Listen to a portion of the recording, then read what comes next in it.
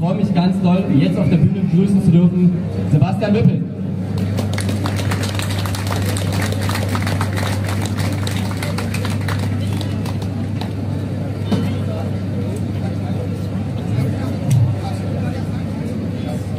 Einen wunderschönen guten Nachmittag, liebe Freunde, liebe Unterstützer. Ich bin gebeten worden, ja, so ein paar Sachen hier zum Thema Sicherheit zu erzählen und was ich darüber denke. Und da habe ich gedacht, das ist vielleicht eine ganz gute Idee. Das macht das Mikrofon noch ein bisschen höher, ja, jetzt ist es zu hören. Also ich bin gebeten worden, ein paar Sachen zum Thema Sicherheit zu erzählen und was ich darüber denke. Nun, dann mache ich das. Fange ich vielleicht mal mit dem an, was mich ärgert. Mich ärgert am meisten, dass diese CDU immer von Humanität und Ordnung redet. Die reden von Humanität und Ordnung. Und dann schauen wir mal in die Zeitung und dann können wir mal sehen, was vielleicht unter Humanität und Ordnung zu verstehen ist. Ich meine, die regieren ja dieses Land. So, Zitat Nummer eins. Erst klaute er und dann biss der Libyer den Dresdner Polizisten blutig. Nummer zwei. Sicherheitsmitarbeiter haben einen Mann mit gezogenen Messer festgesetzt. Nummer drei. Im Schneeberger Flüchtlingsheim haben Bewohner Wachleute mit Messern angegriffen. Nummer vier. Als der Zwölfjährige sich weigert, die Tasche zu öffnen, soll einer der Jugendlichen mit einem Messer ihn bedroht haben. Täterbeschreibung, dunkler Tarn, dunkle Haare, gebrochenes Deutsch. Oder nach einer Schlägerei in der Diskothek hat die Staatsanwaltschaft gegen acht beschuldigte Anklage erhoben, darunter sechs Syrer und ein Türke. Ja, liebe Freunde, solche Sachverhalte, die stecken dann immer hinter diesen Zahlen. Das sind Leben, das sind Opfer, das sind Leute, die damit klarkommen müssen mit dem, was sie erlebt haben. Aber so eine Zahl in der Statistik, das ist dann einfach bloß eine emotionslose Zahl, die nehmen wir zur Kenntnis oder dann ist sie weg.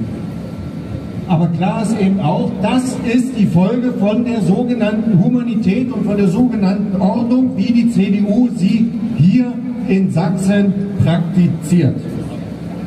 Und was ergibt sich denn daraus?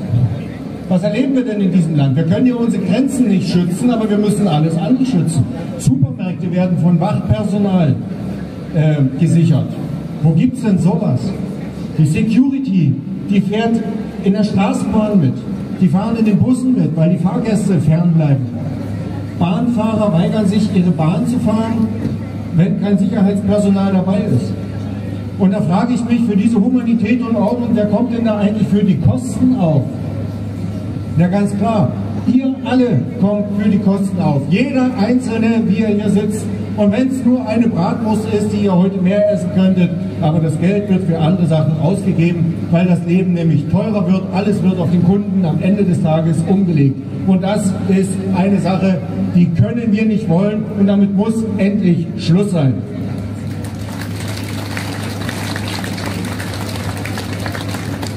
Wisst ihr, unser Land wird sich verändern. Ihr kennt diesen Spruch, ja? Von Katrin Göring-Eck. Unser Land wird sich verändern und zwar drastisch.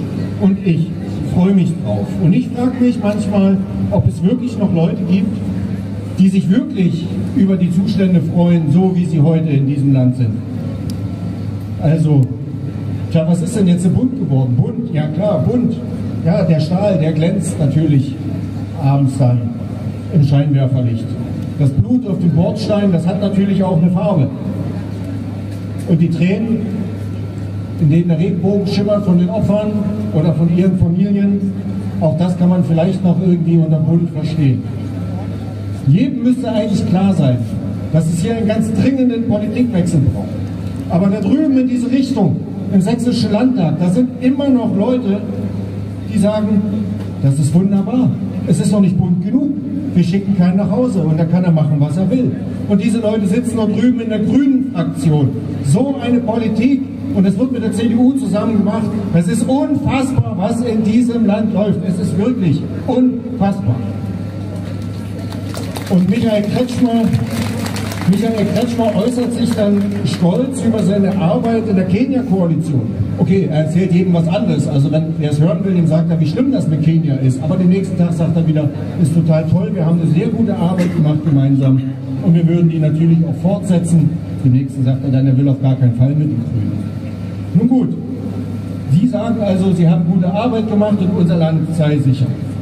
Aber da frage ich mich, in welcher Welt lebt denn dieser Herr Kretschmer? In welcher Welt lebt denn der Herr Innenminister Schuster, wenn Sie der Meinung sind, dass unser Land, dass unsere Straßen, unsere Plätze immer sicherer geworden sind? Wie kann man denn stolz darauf sein, dass die Menschen Plätze meiden? Wie kann man stolz darauf sein, dass Frauen öffentliche Verkehrsmittel meiden und abends von der Arbeit von ihren Männern abgeholt werden müssen, weil sie sich alleine nicht raustrauen? Wie kann man denn stolz darauf sein, dass man auf der Prager Straße Bögen und Gruppen von arabischen Jugendlichen machen muss? Das ist das, was ihr erlebt. Das ist das, was wir erleben. Das ist das, was das wirkliche Leben ist. Und seid ihr mit mir einer Meinung, dass diejenigen, die dieses alles verzapft haben, mehr Freizeit brauchen, um auch dieses echte Leben kennenzulernen? Wollt ihr, dass diese Leute dieses Land weiter regieren? Ich sehe, wir sind uns einig, dann kann ich jetzt ergehen. Nein, ich wusste aber auch, dass ihr Sachsen helle seid. Und ich komme ja aus Görlitz und auch die Schlesier sind helle, es sind noch ein paar heute hier. Also auch nochmal ein ganz besonderer Gruß an diese Gruppe. Ich weiß, dass ihr dieser Regierung nicht mehr auf den Leim geht. Und da kann Herr Kretschmer kurz vor der Wahl das AfD-Programm kopieren und hoch und runter beten, wie er will. Es wird nicht mehr funktionieren. Denn wir haben nicht vergessen, dass die CDU sich in den vergangenen Jahren jeder Maßnahme verschlossen hat, die wir gefordert haben und die sie jetzt kopieren. Sie kommen jetzt um die Ecke und erfinden neue Sachen. Jetzt wollen Sie eine sächsische Grenzpolizei. Sie fordern jetzt alles das, wo Sie uns im Landtag fünf Jahre lang erzählt haben, dass man das alles nicht machen kann. Was ist denn daran glaubwürdig? Diese Truppe ist unglaubwürdig. Sie sind einfach nur hilflos. Seit 34 Jahren regieren sie dieses Land. Seit 34 Jahren haben sie keine dieser Maßnahmen, die sie jetzt fordern, umgesetzt. Aber ab morgen, da geht's los. Wir erinnern uns an den Volkseinwand. Dieser Volkseinwand, den hat der Kretschmer vor der letzten Wahl gefordert. Er kam nie. Er hat uns versprochen auf den Plakaten 1000 neue Polizisten. Die 1000 Polizisten kamen nie. Und deswegen sage ich an dieser Stelle auch ganz klar, nein, auch zu den Forderungen der CDU und auch zu der CDU-Forderung einer Asylobergrenze von 60.000. Nein, das können wir so nicht machen. Hier müssen wir ein klares Stoppzeichen setzen. Sowas machen wir nicht mit. Denn die Obergrenze heißt nicht 60, nicht 30, nicht 10. Unser Ziel heißt Null Asyl in Sachsen. Und dafür wollen wir alle Hindernisse beseitigen, damit das auch wirklich funktioniert. Liebe Freunde, lasst uns von hier aus und von heute an alle Sachsen erreichen, damit dieses Land möglichst wieder vom Kopf auf die Füße gestellt wird und damit unsere Kinder und unsere Enkel auch eine rosige Zukunft haben. Denn die Bedrohung ist nicht ein Klimawandel, der sich vielleicht irgendwie in 100 Jahren auswirkt, sondern die Bedrohung ist heute, sie ist morgen, sie ist hier und sie ist jetzt. Manchmal hat der ein oder andere von euch aber auch das Gefühl, vielleicht den Staat zu sehr zu kritisieren, wenn er dann immer mit den Vorwürfen konfrontiert ist. Manch einer fragt sich, vielleicht der Geisterfahrer? Und sind die anderen alle richtig unterwegs? Aber da sage ich euch, macht euch klar, wer diesen Staat kritisiert, der wird diffamiert und er wird bekämpft.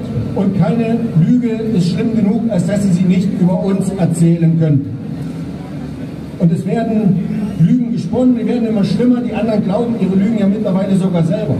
Und dann werden Demonstrationen gegen uns organisiert, die wir dieses Land ja eigentlich beschützen und retten wollen. Demonstrationen werden vom Staat organisiert.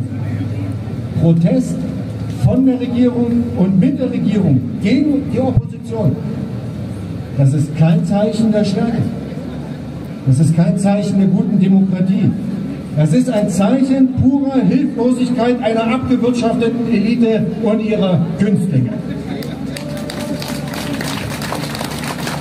Und deshalb sage ich euch, Versteckt euch nicht. Zeigt euch. Zeigt Gesicht. Habt keine Angst, liebe Freunde. Es ist in Ordnung, was ihr denkt und es ist in Ordnung, wenn ihr das Gefühl habt, dass irgendwas faul ist im Staate Sachsen, Deutschland und vielleicht auch Dänemark. Es ist in Ordnung, für den Frieden zu sein, ohne ausgegrenzt zu werden. Es ist in Ordnung, für Freiheit und Selbstbestimmung zu sein, ohne ausgegrenzt zu werden. Es ist in Ordnung, selber zu denken und die Maßnahmen der Regierung zu hinterfragen und auch zu kritisieren. Es ist in Ordnung, gegen diesen Genderwahn und gegen diese Wokeness zu stehen, die aus Amerika eingeschleppt wurde. Es ist in Ordnung, unsere Familien zu unterstützen und unseren Kindern eine gute Zukunft zu bieten.